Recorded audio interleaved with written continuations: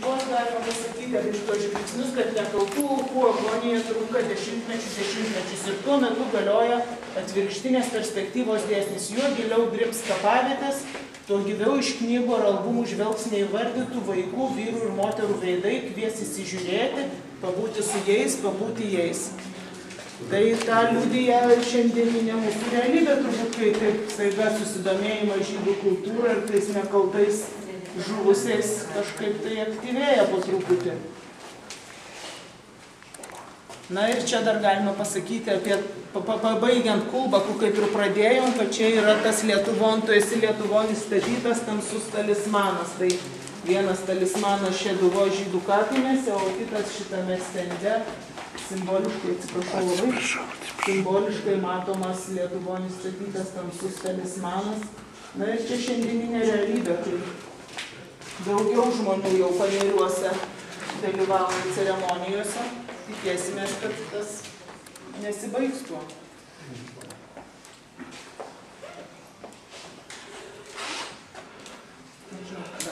А вы говорили, это не одно, в каких еще странах?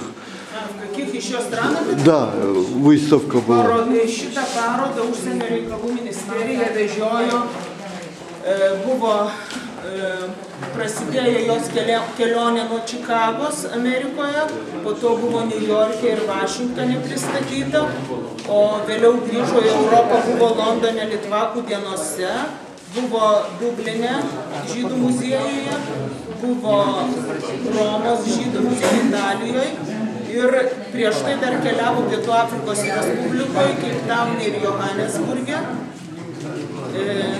Na ir žinau, kad Australijoje irgi, kadangi Pietų Afrikoje matė Australijos atstovai, tai siunčiau patiem atsispausdinti Australiją, nes nugabenti jau be šansų, jie turi atsispausdinti patys gale metų eksponuoti pas save. Ačiū, ačiū.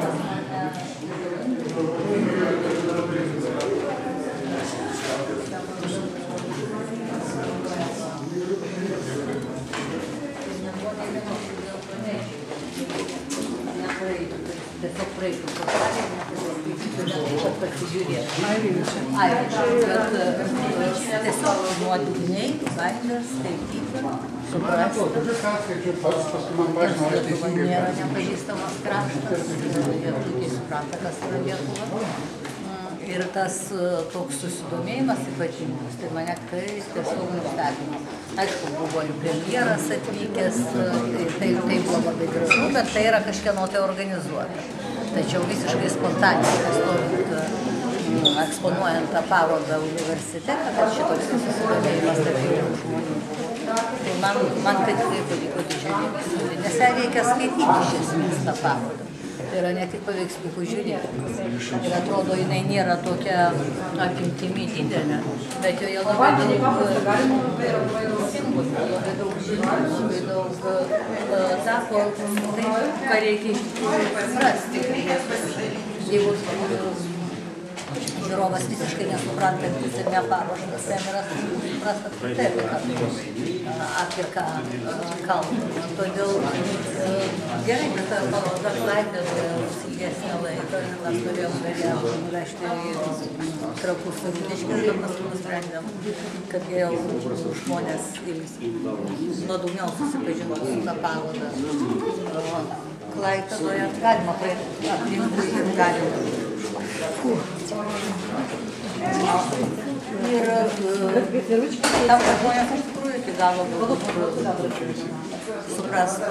А потом звонит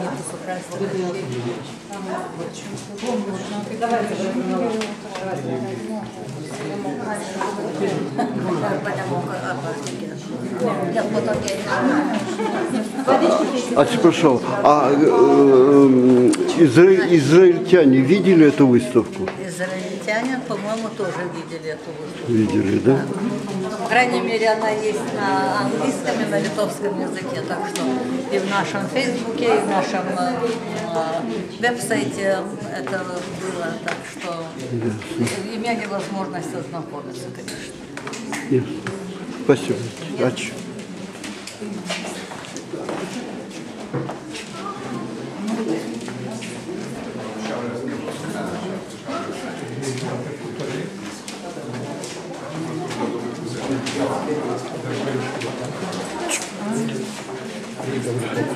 Купрашововой.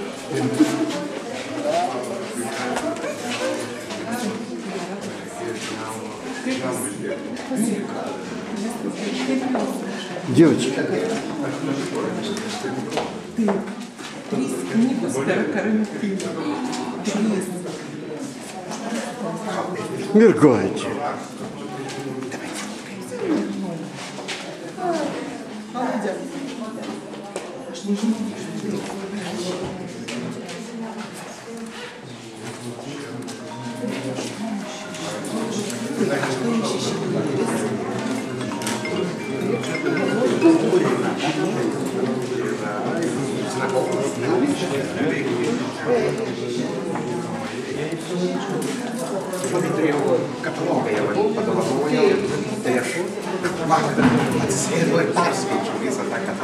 Ты не дышишь на кожу.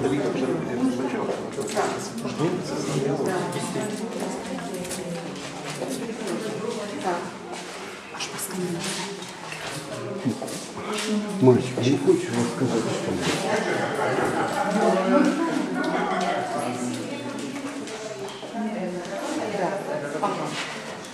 Да. Да.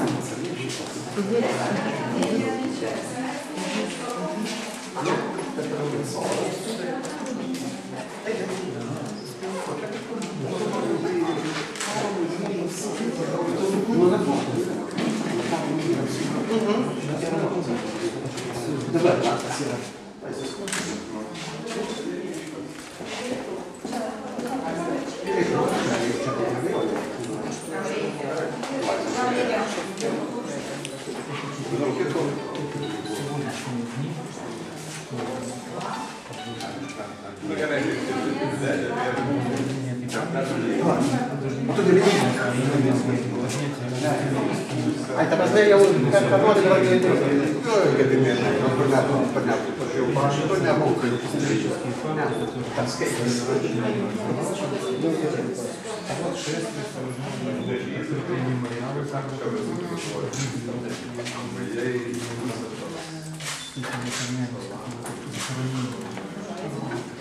Ловите.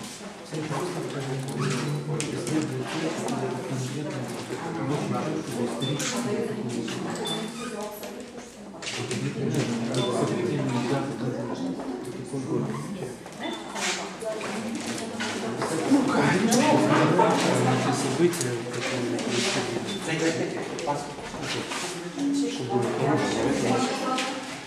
Тяжелая страница истории.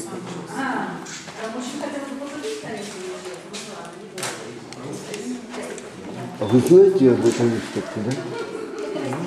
В чертах. Так, не хотели бы рассказать? Надо искать тех людей, которые здесь организовывают. Он, он только Я, я только Понял. крайне что, успел схватить, успел. А я смотрю прямо так, такую лапшу, не лапшу, а ну рядом с девушкой.